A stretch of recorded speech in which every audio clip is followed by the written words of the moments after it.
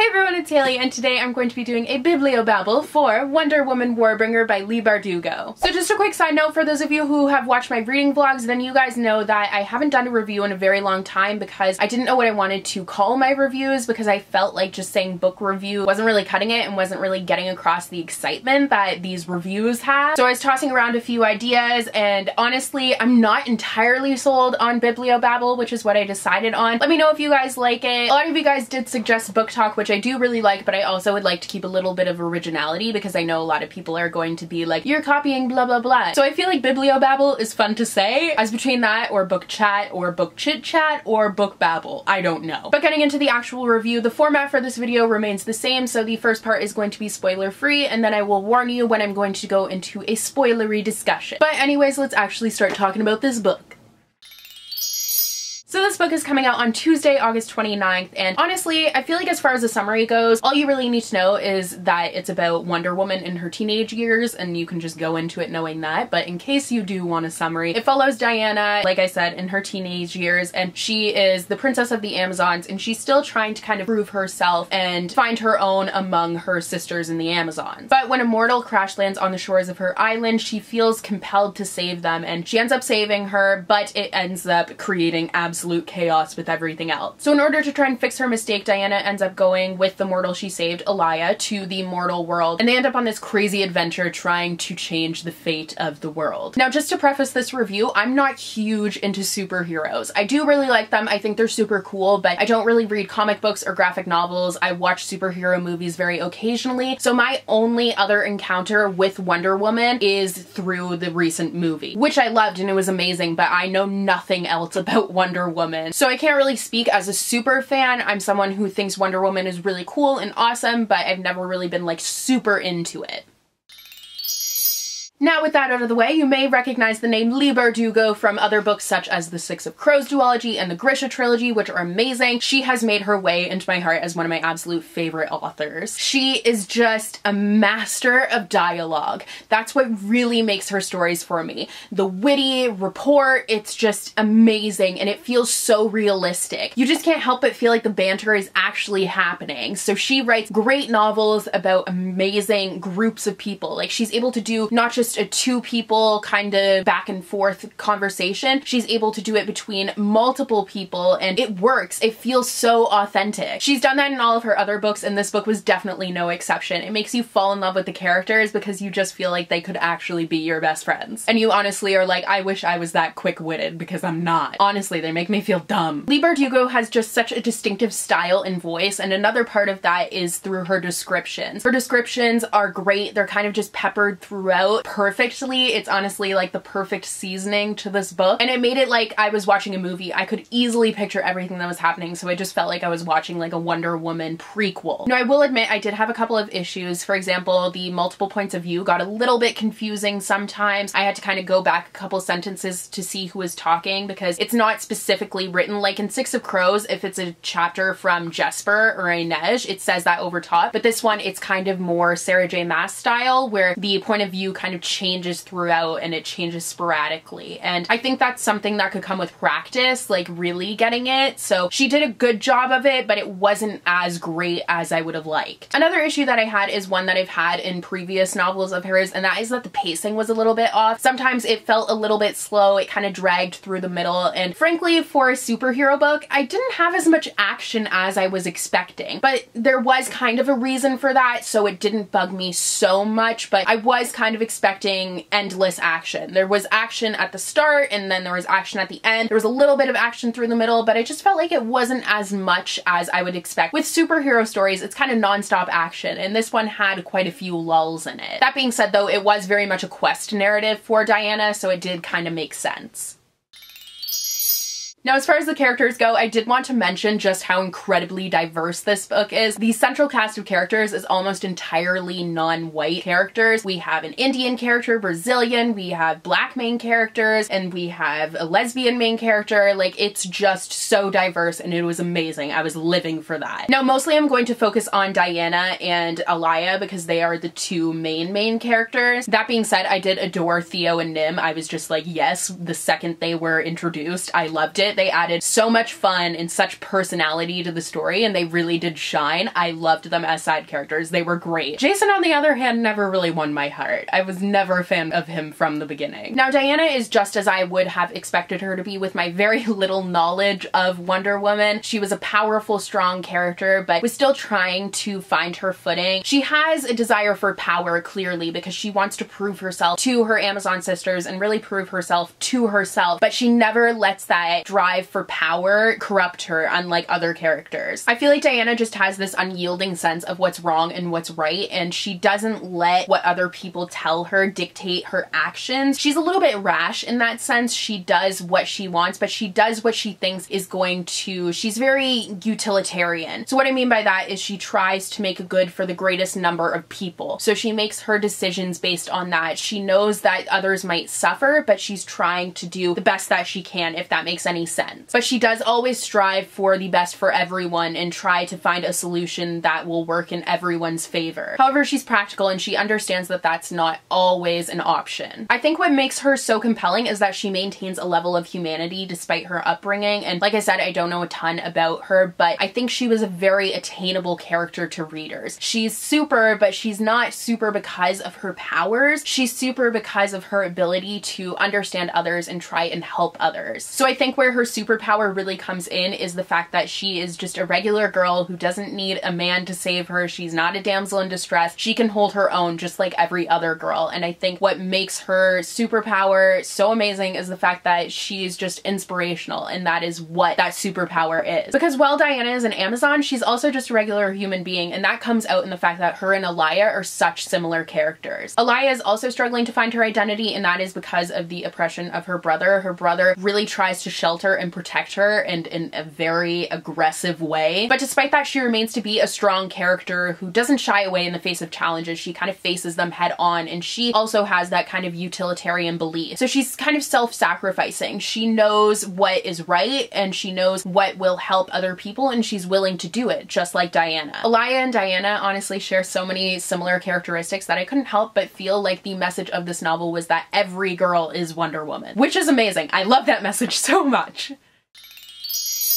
So moving along to plot, this plot kind of lacks a romance, which was really cool. I liked the fact that romance wasn't the center of it. I was kind of hoping for a little bit of a lesbian romance in here, but I did like the fact that it kind of shied away from romance because the plot took the turn of having female friendship be the focus. It focused on how strong the bonds between females can be and how important they are, and it was just such girl power, which you would expect with this book. But that distinct focus on the importance of sister sisterhood and really girls coming together rather than girl versus girl, just being there together and not trying to fight against each other was such a great message, especially for YA readers. The unification against oppression with these girls was great and I loved it so much. It was just girl power and they did still have a boy in there, but he wasn't helping them and he wasn't, well, he was helping them, but he wasn't like leading them by the hand and like saving the damsels in distress. They held their own. And I love the fact that this and other social justice issues were brought up in this novel, but they were kind of woven in there seamlessly. So you didn't feel like you were being bombarded by all this stuff. You just kind of got those messages and you were like, yeah, that is absolutely true. This book honestly reminded me so much of Rick Riordan's novels because it had the mythology woven in there and it had this focus on that as well as this focus on the group and friendship and how they can work together and just the conversation. It just felt like it was a Rick Riordan novel. But the incorporation of fantasy and mythology into the main plot made made a very interesting clash of the two worlds and kind of seeing Diana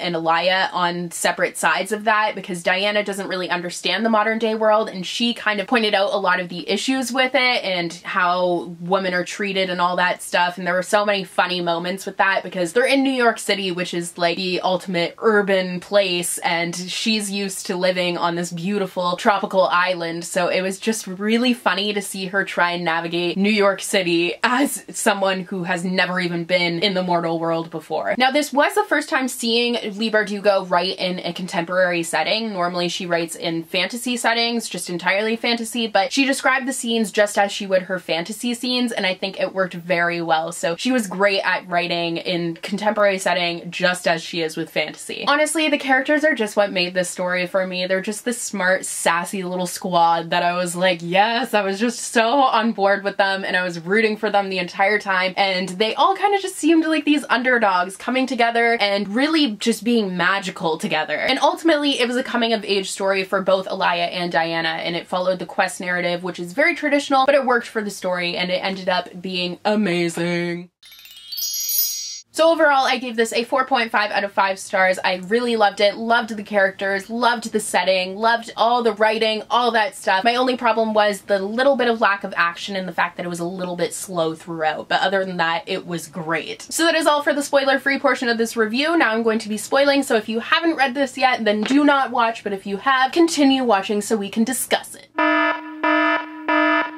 So first of all, when Diana saves Alia and then everything is going to crap and then she goes to visit the Oracle to get her quest, I was like, this is literally the first Percy Jackson book. But it's not only that because that's a, just a very traditional start to quest narratives, but it worked for this story like I kind of just said. But when she actually gets to the mortal world, I was just so in love with all the little funny things she said. Like the one was, is Google one of your gods? And I was like, basically, yes. And really seeing Alia try to understand Diana, like she's so skeptical of her because she's just this beautiful, like badass female that you're like, oh my god, what is happening? But then she calls her, what is it? Anti-gun, horticulture, loving, survivalist, socialist cult. That's where she called like where she's from. I was dying laughing because it's not a lie. And then Diana gets the I love NY t-shirt and this just like encompasses Diana, I feel like, because because she's like, it's a very strong statement. I don't, it's fine, but I don't know if it's true. Like, I don't love it yet. It's just, you can see the way that she's so analytical and serious about everything. It made me laugh a lot. But when the guy hits on her, that was like my favorite scene. I don't even know where it was because I don't think I wrote down the page number, but I was dying laughing at that scene. Maybe I can find it. Oh, on page 92 and they start hitting on her and then they call her bitchy because she's not into it and she's just like, are you serious? And she like fights back at them. It was the funniest thing. I died laughing. I was like, this is amazing and I wish I could do that because guys can be awful. Not all of them, but some of them can be awful. And it was just great to see Wonder Woman being like, are you serious? Like, sit down, tiny little mortal. The scene where she goes into Duane Reade and she's like fondling the deodorants and like talking about how shiny everything is. Also just had me dying laughing. I loved all of the scenes where you saw kind of the meeting of the two worlds and the melding of them. It was just like the mingling of the two of them was so funny and I think it was so well done. Now the Warbringer concept, I they mention it in the synopsis on the back of the book and I think that's kind of mentioning too much but I thought it was interesting the fact that she was the person who brought on all of this destruction and it's kind of just this endless chain of destruction and they have to end it. So I felt like it made sense that Diana felt so compelled to save Alia in the beginning. And Jason, I was skeptical of from the beginning. Like, I did not like him from the beginning. I was like, mm, something is weird about you. But when they're talking to him and I is like to him, I'm a walking talking apocalypse, but you draw the line at magical spring because he won't believe that they go to the spring. I mean, now it makes sense he didn't want to go because he knows like that will, he wants her to be the warbringer and like continue and destruction, blah, blah, blah. But it was just really funny in the moment. She's able to take such a terrible and dire situation and she really is making light of it. She's still staying true to her own personality, which I thought was just great. I also kind of like the fact that the Warbringer concept was weaved in with different well-known events, such as like World War One, World War Two. I thought that was really cool, but I felt like there were some holes in it, and I don't know if it's just me overthinking it, but I didn't really like the fact that it was like, oh, but there doesn't have to be a Warbringer necessarily for these things to happen. I don't know. That kind of bugged me a little bit, and I felt like that was was a little bit weird, but you know. When Nim was finally introduced, I was like, yes, yes, yes, this is the character that we need because she just added such a fun element to the story with her like, she's talking to Diana and she's like, were you homeschooled under a rock? Like, because she doesn't know about anything. And it was just the funniest thing because like everyone else knows. It was good dramatic irony and she just, her reactions to everything, priceless. I also love the part where Diana and Jason are exchanging their favorite stories and I think that it really was telling of their characters and who their characters ultimately ended up being. And I thought that was just very genius and just really clever ultimately. Now then when they jump out of the jet, I was like, well, now we have some action because we had the old attack scene and then it goes to the jumping out of the jet and that was like, oh my god, how? But I love the fact that we had Theo there and he just kept on saying, oh dang, like it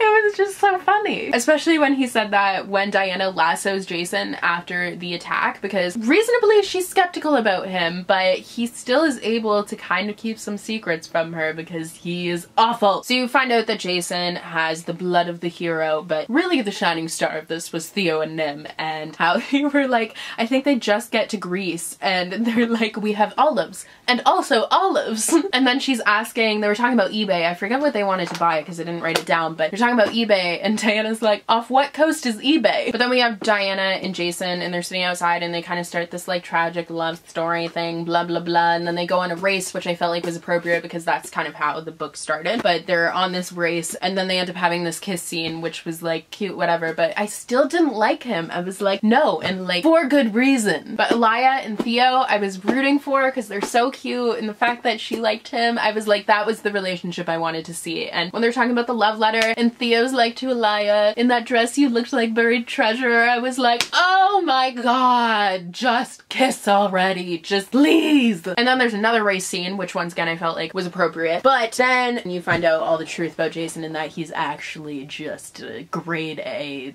dick. And then you get the final battle scene and you really get to discover Jason's true desires. And I love the fact that this battle scene was amazing. It was so well written so good and I loved I think it was page 316 but Diana's talking about mortals and I forget what she said. To Theo on a scale of 1 to we're definitely gonna die where would you put this? I forget what she said but keep in mind I'm quoting from the arc anyways but she says something like mortals don't cower or weep. They're courageous as always and is just vouching for the power of humans to be powerful just like she is and just like Jason is as a supernatural being. But Jason is the opposite of Diana because he has let that power corrupt him. He has this thirst for endless power that she is able to suppress and doesn't really desire that much but his has become completely corrupt but Jason did make a great villain because he stood in for a lot of things and you never really suspect him as anything more than the overprotected brother. I, as much as I suspected that there was something going on with him, I didn't think that he would ultimately end up being the kind of main villain. But I thought it worked really well because ultimately he just wants to be number one and he's only really concerned for himself and he wants to have glory no matter what the cost really. But one of my absolute favorite lines was when Diana is coming back and like they think that she has had all the blood drained out of her and she is dead and Jason's like going away with his people. But one of his people warns him sir incoming hostile and Jason's like big guns or local law?